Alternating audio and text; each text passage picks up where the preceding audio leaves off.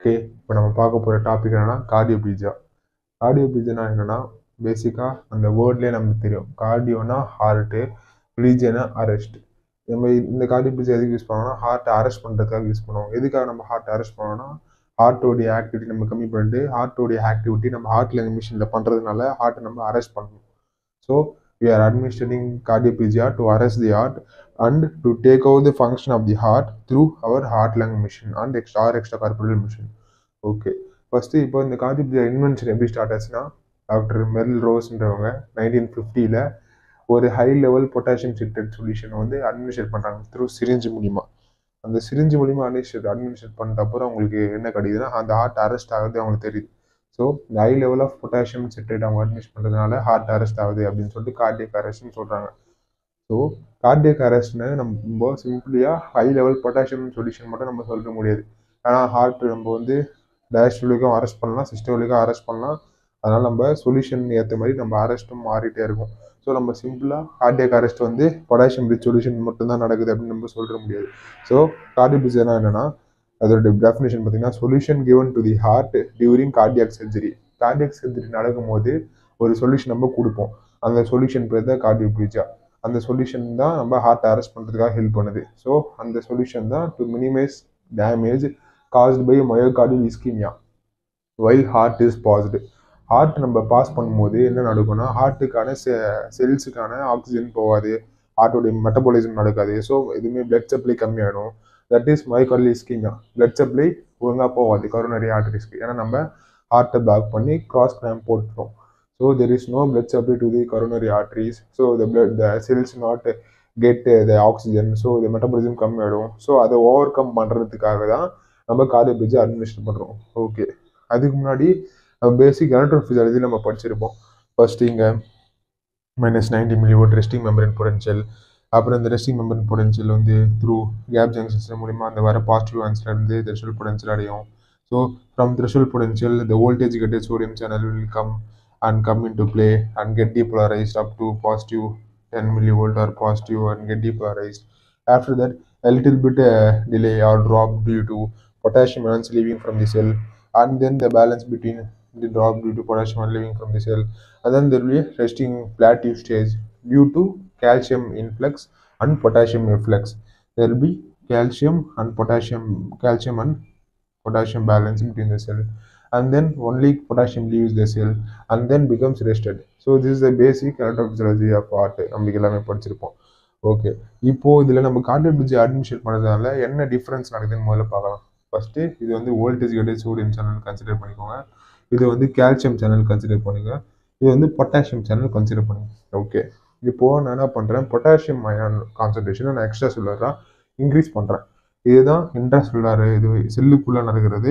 இது வெளியில் இருக்குது எக்ஸ்ட்ரா செல்லுலார் இப்போ எக்ஸ்ட்ரா செல்லுலார் நான் பொட்டாசியம் அயன் கான்சன்ட்ரேஷனை இன்க்ரீஸ் பண்ணுறதுனா என்ன நடக்க போகுதுன்னு பார்க்கலாம். இப்போ பொட்டாசியம் அயன் கான்சன்ட்ரேஷன் இன்க்ரீஸ் பண்ணிட்டேன் வெளியில். இப்போ பொட்டாசியம் அயன் கான்சன்ட்ரேஷன் இன்க்ரீஸ் பண்ணுறதுனால இங்கன்னா உள்ளே என்ன நடக்கும்னா resting membrane potential minus ninety millivolt வந்து ஆட்டோமேட்டிக்காக decreases the resting membrane potential இப்போ நார்மலாக resting membrane potential minus ninety millivolt இருக்குது இப்போ பொட்டாசியம் இன்க்ரீஸ் பண்ணுறதுனால ரெஸ்டிங் மெம்பரன் பொட்டன்ஷியல் எவ்வளோ வந்துடும்னா மைனஸ் செவன்ட்டி மில்லி வோல்ட் வந்துடும் அப்ராக்சிமேட்டாக மைனஸ் செவன்ட்டி சொல்கிறேன் அதுக்கு மேலேயும் போகலாம் பேஸ்ட் ஆன் எவ்வளோ பொட்டாசியம் இன்க்ரீஸ் பண்ணுறது பொறுத்தோ அந்த ரெஸ்டிங் மெம்பரன் பொட்டன்ஷியல் போயிட்டே இருக்கும். அதுதான் concept less negative membrane voltage is more voltage gated sodium channels tend to close அது எப்படின்னா இப்போ நம்ம இந்த இதை வந்து நம்ம ரெஸ்டிங் இப்போ for example potassium ion concentration increase பண்ணுறதுனால ரெஸ்டிங் மெம்பரன் பொட்டன்ஷியல் மேலே வந்துச்சு so this is our resting membrane potential because we increase the potassium ion concentration so the cells automatically attains the resting membrane potential less negatively that is the concept இப்போ resting membrane potential வந்து minus seventy வந்துடுச்சு. இப்போ நான் வந்து இப்போ sodium influx நடக்குது. Sodium influx நடக்கும்போது என்ன நடக்கும்? சோடியம் டீபோலிஸ் ஆகும் ஆனால் வந்து இங்கே என்ன நடக்கும்னா இப்போ நம்ம லெஸ் நெகட்டிவாக இருக்கும். லெஸ் நெகட்டிவ் மெம்பரின் வோல்டேஜாக இருக்குது ஸோ மோர் வோல்டேஜ் கிட்ட sodium channel tend to close more voltage இந்த சேனல் வந்து ரொம்ப கம்மியாக இருக்கும். ஸோ இந்த ஃபாஸ்டர் டீபோலேஷன் நடக்காது சோடியமில் அது வந்து கொஞ்சம் ஸ்லோப்பாக ஸ்லோப்பாக இருக்கும். அது கொஞ்சம் வளைவாக இருக்கும். இப்போ மைனஸ் செவன்ட்டினா இப்போ இங்கே வந்து டீபோலேஷன் நடக்குதுன்னா இப்போ இங்கே ரெஸ்டிங் மெம்பரன் பொட்டன்ஷியல்னால இப்போ சோடியம் இங்கே வரும். அப்புறம் பொ பொட்டாசியம் ஃப்ளக்ஸ் இது ஆகும். அப்புறம் கால்சியம் வரும். அப்புறம் பொட்டாசியம் லீவ் ஆகும். மறுபடியும் ரெஸ்டிங் மெம்பரன் பொட்டன்ஷியல் ஆகிடும் இது வந்து கொஞ்சம் நான் இன்க்ரீஸ் பண்ணுறேன் பொட்டாசியம் அயன் கொஞ்சம் இன்க்ரீஸ் பண்ண பண்ண அதோட ரெஸ்டிங் மெம்பரன் பொட்டன்ஷியல் இன்க்ரீஸ் ஆகிட்டே போகும். அதுக்கேற்ற மாதிரி அதில் ஸ்லோ டிஃபர் ஆகிட்டே போகும்.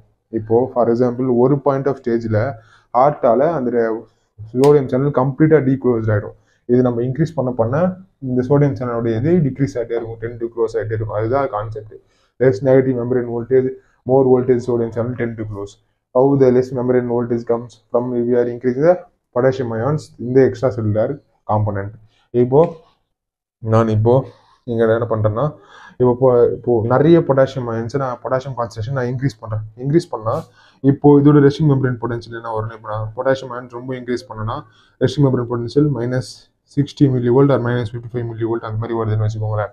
இப்போ மைனஸ் சிக்ஸ்டி மில்லி வோல்ட் வந்துச்சு அதுதான் new resting membrane potential due to increase in potassium ions இந்த எக்ஸ்ட்ரா செல்லுலார் ஃபீல்டு இப்போ மைனஸ் சிக்ஸ்டி மில்லி வோல்ட்லேருந்து இப்போது எந்த ஒரு சோடியம் அயன்ஸும் உள்ளே வராது. ஏன்னா நான் சொன்ன மாதிரி எல்லா சோடியம் அயன்ஸும் க்ளோஸ்ட் ஆகிடும் அப்புறம் நடக்கும் சோடியம் டீபோலேஷன் நடக்காது.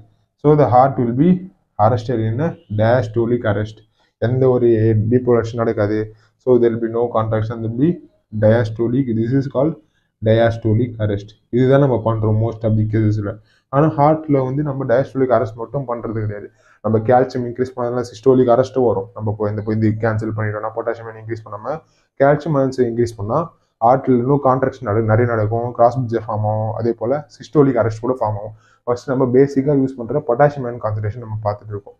இப்போ ஓகே இப்போது அதுதான் கான்செப்ட் இப்போ increasing potassium ion concentration decrease the resting membrane potential of the cardiac cells cardiac செல்ஸோடைய resting membrane potential decrease பண்ணிடும் okay less negative membrane voltage less negative membrane voltage more voltage ge- get at sodium channel tend to close more voltage get at sodium sodium channel tend to close we are increase if we increase the resting membrane potential okay next வந்து when extracellular cardioplegia displaces the blood surrounding myocytes the membrane voltage become less negative and cell depolarises more readily that is the concept extra செல்லில் நம்ம கார்டியோபிரிட்ஜ் apply பண்ணுறோம் அப்போது blood surrounding the myocytes இந்த membrane voltage become less negative membrane voltage less negative and then the cell depolarises more readily means the cell இன்னும் கொஞ்சம் சீக்கிரமாக depolarise ஆகும் that is the concept for example ஒரு ventricular myocardium இருக்குது அது ஒரு normal லெவலில் ரெஸ்டிங் ஒரு potassium minus eighty four millivolt அதாவது அப்ராக்சிமேட்டாக மைனஸ் நைன்டி மில்லி வோல்ட் அதோடைய நார்மல் லெவல் நம்ம பொட்டாசியம் பிளட்ல இருக்கிறது வந்து three point one two five point four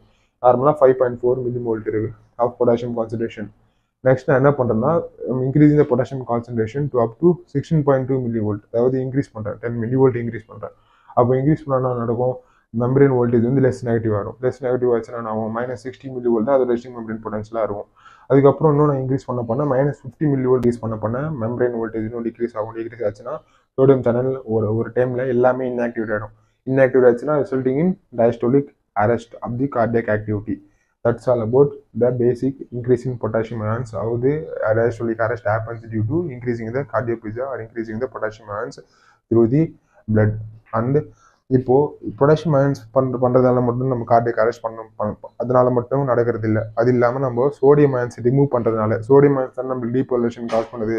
so sodium ions remove பண்ணிட்டா excess sodium from perfusate and then இது வந்து டீபோலைசேஷன் நடக்காது. அப்போ டீபோலைசேஷன் நடக்கலன்னா நான் நடக்கும் ஹார்ட் நாட் பீட் அதே போல் கால்சியம் ஆன்ஸை ரிமூவ் பண்ணிட்டோம்னா எக்ஸ்ட்ரா செல்லரை நம்ம கால்சியம் ஆன்ஸை ரிமூவ் பண்ணிட்டோம்னா கான்ட்ராக்ஷன் நடக்காது. கான்ட்ராக்ஷன் டிகிரீஸ் ஆகும் கான்ட்ராக்ஷன் டிகிரீஸ் ஆச்சு நடக்கும் cardiac arrest in diastole that's all about cardiac